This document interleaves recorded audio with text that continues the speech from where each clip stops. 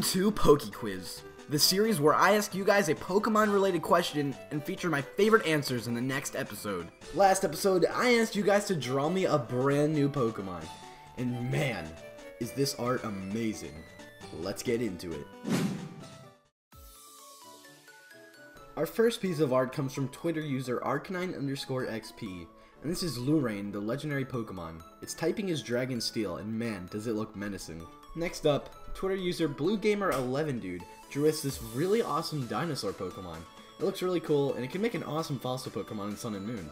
Twitter user Nintendo P actually made us this really cool electric water type Pokemon that goes by the name Electrogill.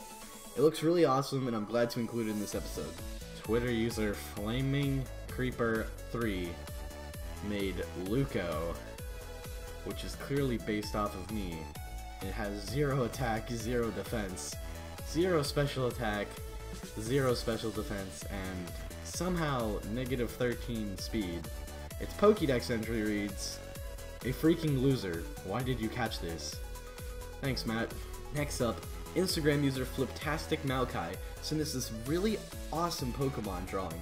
I like it a lot, and I think the colors of red and blue look really great on it. This could almost be a mythical Pokemon in Pokemon Sun and Moon. I could totally see that, being like the Mew of Generation 7.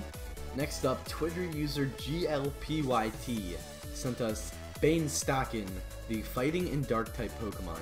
It looks really awesome, and I really love this concept. It's really well put together, and I'd love to catch this thing in Sun and Moon.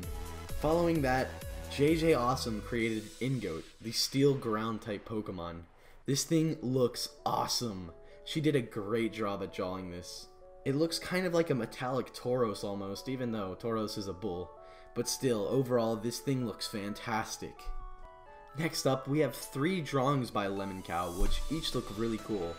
One looks to be an electric type, one looks to be a fire type, and the last one looks to be an ice type. They're all really well put together, and I think they look just fantastic. Twitter user LorneW8 brought us Sproutern, the grass type Pokemon with the ability Force Restore. This ability makes the Pokemon regain some HP every single turn when it's in a forest. It looks really cool, I really like it. It looks like a new Christmas tree type Pokemon. Next up, Twitter user Mega Blaze Kick 54 brought us Wispollo, which is a really cool Pokemon.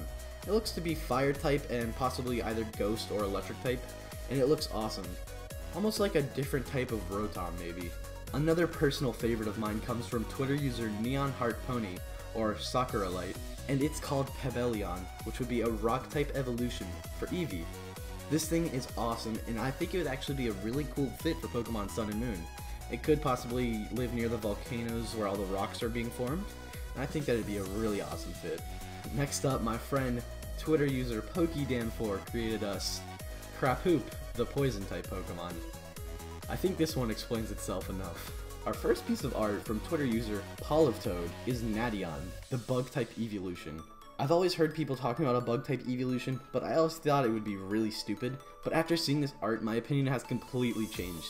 This is amazing fan art, and I love it. The second drawing from Toad is Nabayon, the psychic type Pokemon. It also gets Magic Guard and Synchronize as a hidden ability.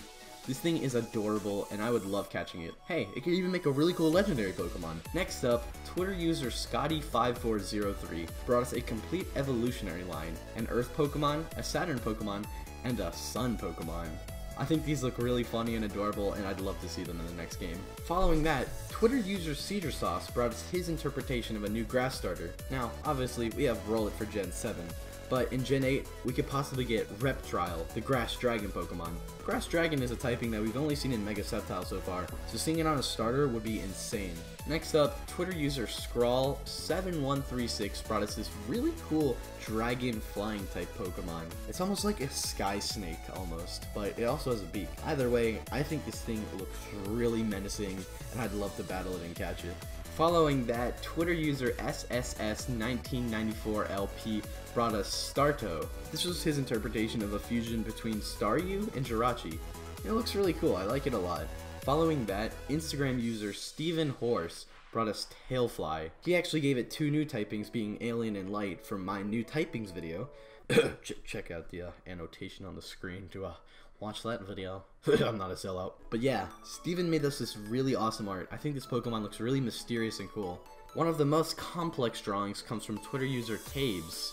This is called Marshmallow, the normal type. I've heard that this Pokemon is not only based off me, but it gets the normal type because I'm so boring. Thanks, Taybz. Next up, Twitter user TK Sylveon brought us Dragow, the Ghost Dragon type. So far, the only Ghost Dragon type that we have is Giratina, so seeing it as a normal non-legendary Pokemon, I think would be really awesome.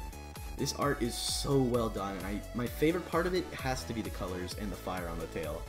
It looks really awesome, and I'd love to use this thing in battle. Next up, Winter the Ice Dragoness from Twitter brought us Rapsion, the electric poison type.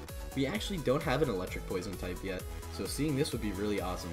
It gets the abilities Lightning Rod or Liquid Ooze, and Winter even went the extra mile and drew a shiny version of it too. Thanks Winter. Next up, Woj brought us the tomato Pokemon named Fruit Punch, with the typing of Juice. This thing looks really wacky and pretty hilarious, and it'd be pretty fun to see, though I'm not sure Juice would be an actual typing. Another piece of art from user GLPYT is this really awesome skeleton ghost fish called Waltergeist. It looks awesome, and I think it would fit in Sun and Moon perfectly, especially since it's a fish, and, you know, we're in Hawaii. The next entry comes from Twitter user Cutey Pikachu, and she has four for us. First off is Unisoul, which seems to have different moods that affect the Pokemon in a different way. Next up there's Spurlet, the Burning Soul Pokemon, which is Fire Ghost type. I think this thing looks awesome and I'd love to see it. Next up is Pixel, the Peace Pokemon, which is Fairy and Ghost type. This thing looks incredible, and I love it a lot, and I could totally see this thing using Moonblast and other type of fairy moves. And maybe even a Shadow Ball. And lastly is Venusaur, the Toxin Pokemon, which is of course a Poison and Ghost type. These four are all really good, and I think they'd make a good set or could possibly be version exclusives. They just look fantastic. And finally, my favorite drawing comes from Twitter user Huebirds, and it's Voltmire, the Plague Doctor Pokemon. Its typing is Ghost Flying. And it's really cool because it looks like a vulture wearing some sort of witch hat. I think that this thing would be insanely cool to have in-game, and I really like it. This drawing is going to be featured in a special upcoming video that you guys will see within the next few weeks, so definitely stay tuned to that. Thank you so much to everyone who submitted their art, guys. I didn't expect to get this many submissions, and they were all super amazing. I love them. But now, I have another question for you. So, it's the future, and the zombie apocalypse is happening. What Pokemon would you take with you to the zombie apocalypse? And why? Leave your answers in the comment sections below, and I'll use my favorite ones for the next episode of Poke Quiz. Thank you all for watching, and I'll see you all next time.